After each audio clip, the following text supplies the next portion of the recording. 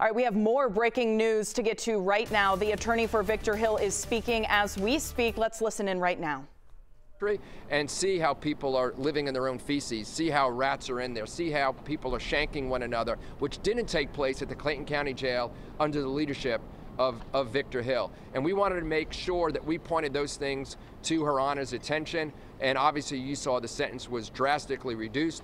Um, we had hoped that there would be no incarceration, um, but the drastic reduction was uh, a sharp contrast to that which federal probation and that which the U.S. Attorney's Office was, was asking for. Um, if there's any questions, if not. You asked to exercise the appeal? Yeah, so uh, there is 100% going to be an appeal. Uh, there's going to be an appeal on several grounds, uh, but one of one of which is the fact, if you look at the filings, that there's no notice. So notice means that you know that something that you're doing could be a crime, right? You know if you go into a bank and you have a gun and you ask for the money, that's robbery, right? You know if you take a gun and you shoot somebody, that is assault or could be murder but there is no notice in the correctional facilities, both locally or anywhere in the United States, that if you use a legally purchased restraint chair, right, which two American corporations sell all over the country, thousands and thousands of them, that you can be prosecuted. Remember that there could have, could have been a consent decree, right? Very simply, the Department of Justice could have come in and said, Sheriff Hill, we think you're doing this wrong. We want you to either suspend or modify your use over the next 12 or 18 months. They chose not to do that and they chose to just prosecute him. That is a notice issue, and to us, that's a violation of due process that will be appealed.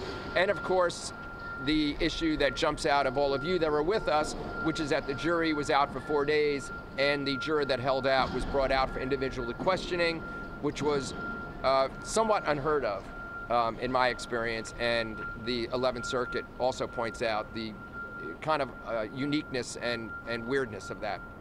Can you talk about your concerns about where the, uh, the sheriff will be incarcerated? Well, we just want to make sure that he goes to what's called a minimum security camp um, and that is that he is in the most secure setting possible. He is a law enforcement officer, and um, he has been dealing with people charged, charged with crimes both as an elected sheriff and as a homicide detective. And so you don't know when, given that he's been in law enforcement, who he's going to encounter in a correctional facility, and he's going to have somewhat of a target. And we want to make sure that he is in as much a secure and safe setting as possible. You've a few character witnesses come up and talk about his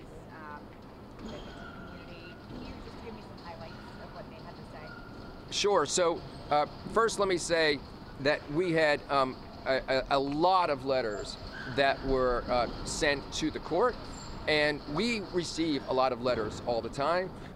And some of them are on point and some aren't, so we have to kind of select through and pick uh, the ones that seem most appropriate and are going to be most helpful. In this case, for Her Honor, Judge Ross, uh, to help her um, deliberate and make a decision as to sentencing. And she specifically talked about those letters. So those letters were, for example, people from um, homeowners associations that talked about the fact that Victor Hill, albeit a, a, an elected sheriff that you think is you know, worried about the jail and, and arresting people, would come out to a homeowners association and talk to the homeowners association about what he can do in his sheriff's department to make the community and their neighborhood safer.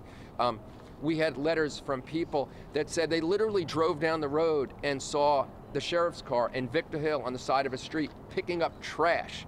Um, we had letters from and people that were there to testify that had actually been detainees. They'd actually been in the Clayton County Jail and were no longer using illegal substances, narcotics, um, because of the influence and the structure that they say that they received um, while in the Clayton County Jail.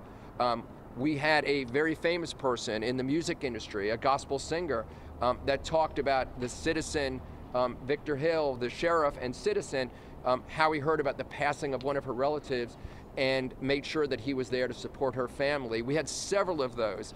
Um, people that were somewhat familiar with him but had a sick or dying or a deceased relative, and how, as the sheriff, he came to make sure that they and their family members were, were safe healthy and secure and try to see what he can do during that difficult time. That's unique. Uh, we have 159 counties in this state.